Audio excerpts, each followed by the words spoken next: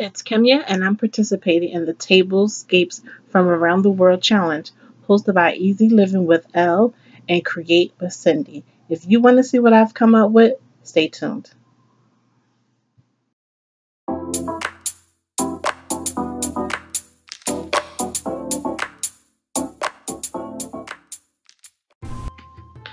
So, although I have never been to any of the Asian countries, I so love their cuisines. So, today I'm just sharing a quick everyday table setup with a little Asian flair. Also, some of my favorite quick meal ideas that are Asian inspired. For the next week, I have planned to have an Asian inspired meal. My favorite to make are steamed asparagus, broccoli, string beans, or a mixed um, stir fry. If I'm in a rush, I simply place some clean and divine seasoned shrimp on top of the vegetables and voila, dinner is served.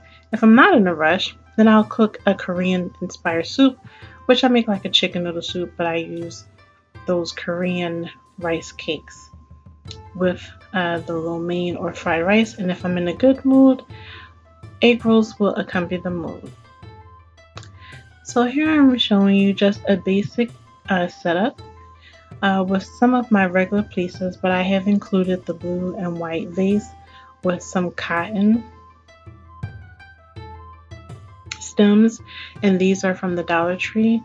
And the vase, I believe, is from Ross.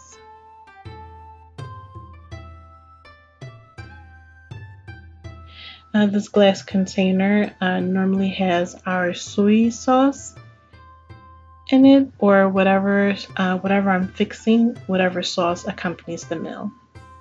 And here I have the blue glass rice bowls with the soup spoons and everything is placed on a wooden bamboo tray that is from Pottery Barn.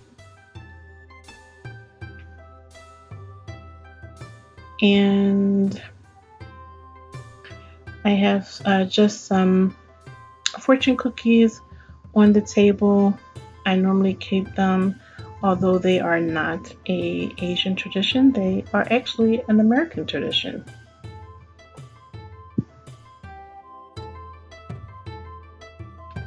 So the dinner isn't scheduled uh, until after this video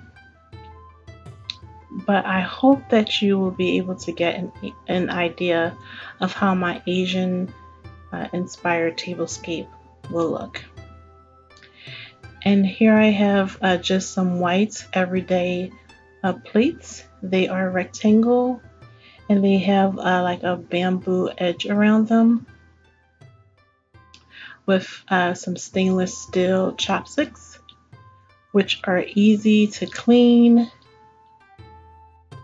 and also reusable.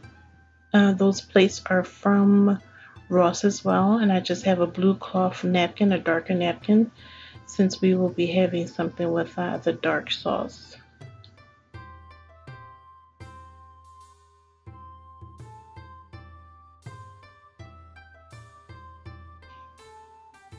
So this is just very simple, nothing really out of the ordinary. Uh, sometimes I don't even add flowers in here sometimes. I just like the blue and white. So sometimes I will just have just the blue and white vase just sitting on the table. I think it's pretty by itself. So um, I hope you enjoyed this quick video. So please check out the playlist that will be in my description and to see the rest of the participants in this Around the World Tablescape Challenge.